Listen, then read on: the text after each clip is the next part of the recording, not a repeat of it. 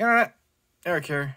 Well, I am finally done after this discussing the Predator franchise until I get to the crossovers. Today I'm going to discuss the recent one, I think it was 2018, The Predator.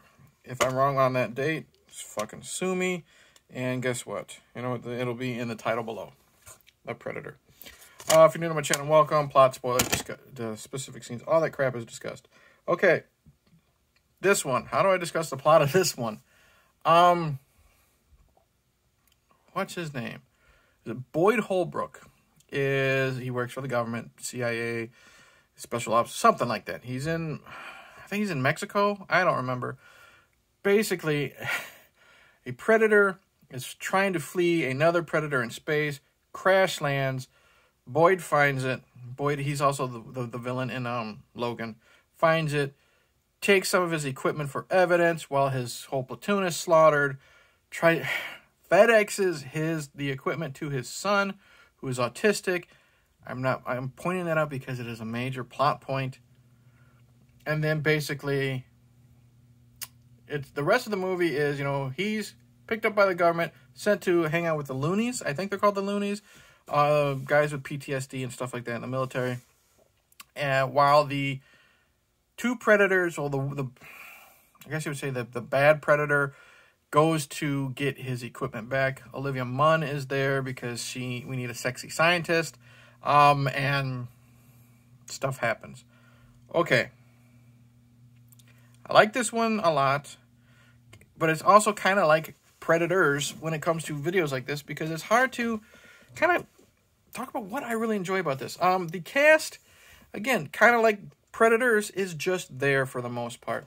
Uh, Boyd Holbrook, he's he's there. He's not Danny Glover. He's not Arnold. He's not Adrien Brody. He's there. I like him, but that's about it. Um, the other actors, I don't really know names. Thomas Jane is there. He is a guy who has Tourette's due to PTSD. He's he's a fun comic relief. We have um, not Jordan Peele, but was it Keegan Michael Keys, the other guy from Key and Peele? Um, he's there. He's the one that's best buddies with Thomas Jane. He's always picking on him, but they also have a good camaraderie, good brotherhood. I like them a lot together. You have um, what's his name? The guy that played Reek in in Game of Thrones. He's a sniper. He's there. He's fine. I'd like to. I don't know if he's Mexican or Spanish or whatever. The religious guy. He has some fun moments. And then you have the lead uh, loony, I guess you would say. Sorry, I'm just gonna call him the black guy. I don't know his name but he's got a really good charisma. And I think it was Killian on the Night Watch Zone uh, might have pointed out because he doesn't really like Boyd Holbrook that much. He, I think he called him Johnny America. He said this, this the, the I guess you would say the lead of the Loonies. I, I don't want to keep calling him the black guy, but that's what he is. He should have been like the lead actor in this, and I agree because he's got the charisma.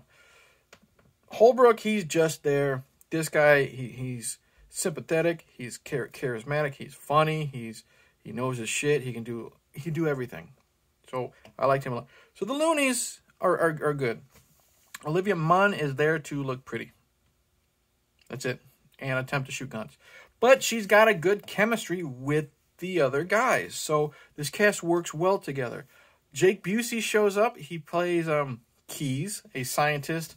Um, and he is supposedly the son of Keyes from Predator 2, which was played by his father, Gary Busey. So I think that's kind of cool. Um, the head villain, the head leader of the CIA or whatever you would say, Alien Task Force, I don't fucking know, is a likable asshole. And he's one of those guys that wants this information. He's the one that actually finally names it a predator. And um, that's a fun scene. And he is willing to sacrifice anything and anyone to get what he wants and you believe it through this actor's performance. And when he finally gets it, it's a whole shit moment. Um, and then you got a couple actors like the guy, the, the girl who plays, I'm just gonna call him Johnny America's wife. She's fine, or ex-wife. Their son, I don't know, autism. You know, I, I, I don't know people who are autistic. I don't know if this is co- correctly, how would you say, portrayed or not. The kid's okay. He's fine. Um, he his he's not annoying with the way he acts, you know, because again, I have no experience with anyone with autism.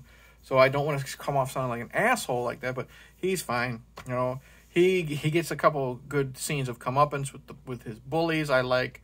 Um, so the characters are either there or really good. So um, the action is fucking good. I love when they're breaking out of the facility.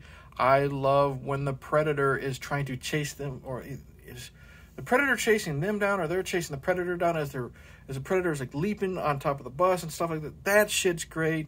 Um, the entire fucking uh, final scene when they're on, where they're literally fighting on top of a flying predator ship, and I think that's great. I like how they how the use of um, it having a, a, a shield, I guess you would say, or a force field or something like that. You know, when that comes up, if people don't get out of the way, whoosh, that's cool. Um, what else is there? There's a lot. You know, the the the firefight in the jungle when the predator, is, when the super predator, I guess you would say, this one, this fucking thing is like eight feet tall. When it's taking out different members of the government and the loonies, that's great. We get you know gore. Gore is really good. We get you know we get people we get heads blown up, stabbings, you know, blood gushes here and there. Um, lots of good gore. Now the downside let's just say this is a big spoiler. Let's just say the reason why the I guess you'd say the bad predator or the rogue predator, I don't know how eh, either way. You find out why they are hunting humans. You officially find out why they're hunting humans. And I think that is interesting to a point. I'm not going to spoil it because I want some people to find out for their own. And then when you find out who this super predator, I guess we'll call it, is after, and the reason why, I thought was stupid as hell. I thought it was dumb. Didn't like it, didn't care for it. But it didn't make me hate the movie. It made a lot of people hate the movie. I didn't, but I'm just like, it is pretty fucking lame. Um, there is a scene where the predator, super predator, what have you, fights the normal predator and defeats that thing super fucking quick. Decisively, but I wish that fight was a little bit longer. Um, and then let's just talk about the predator dogs. These the predator dogs are different than the hunting dogs that were used in Predators. I do not like the look of them at all. They they even have dreadlocks. They look really ridiculous. And then there's there's a side story of they have to save Johnny America's son from being hunted down, and um, they kill one of the dogs, and the other dog gets shot in the head. And then that bullet to the brain makes it kind of stupid and follow the group around and be literally be like a you know a lost puppy. That's dumb. The way it plays with the the scene where it plays with the grenade is dumb. A lot of that is just the, the whole brain damaged predator dog thing is is fucking stupid. I did not like that. Um. Yeah. Or oh, and don't give me oh, the fucking ending of this movie. Now listen, I'm gonna I'm gonna spoil the ending right here. So if you haven't seen it, they they open up some type of pot, a gift from the good predator, I guess. You know, it it was coming to Earth to tell us, show us how to stop the bad predators.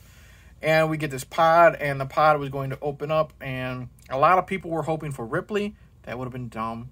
A lot of people were hoping for Dutch fucking 70 year old Arnold Schwarzenegger isn't going to be able to do much. So, what we get instead is some type of device that, when activated, turns into some type of predator killer suit. And it looks like out of something fucking Tony Stark would have created, complete with that type of CGI. And it just looks fucking bad. You know, would it be any worse than Dutch? No, but it's just it's just fucking dumb.